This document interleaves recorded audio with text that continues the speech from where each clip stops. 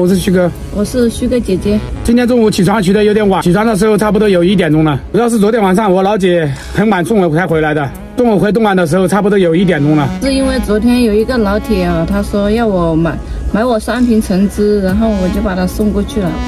总共是五十公里啊，送到深圳福田这边付了一百块钱，给我花了五十块定金，然后我就帮他送了过去。晚上回来的话有点晚了。那个老铁还请吃了一个夜宵，现在是准备出来摆摊了。在这里我就想说一下，如果附近的或者是不远的话，也可以送送过去。有需要的话也可以送货上门。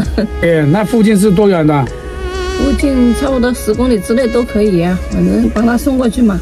出点油钱也可以，只要够油钱就可以了，跑一下腿。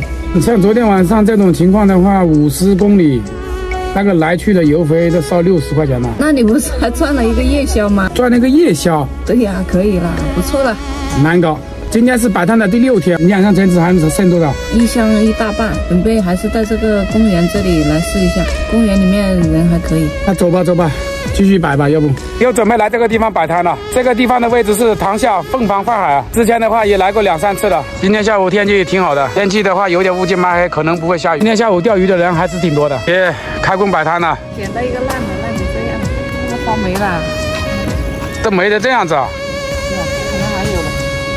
还有没有发霉的？看一下嘛，把发霉的全部挑出来吧。这边还有没发霉的？摆在前面嘛，前面不挡视线。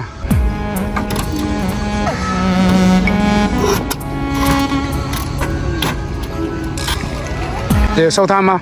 没有人要啊，这四个。还有四瓶没卖掉，反正总共卖多少嘛？一百三。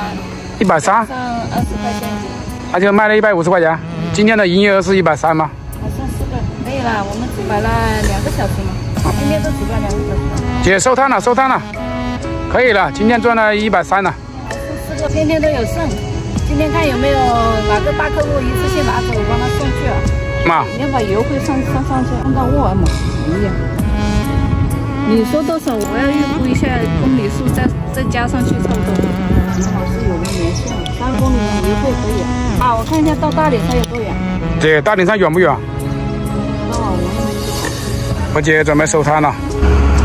这个有没有人要的？收了吗？这个还要折起来吗，姐？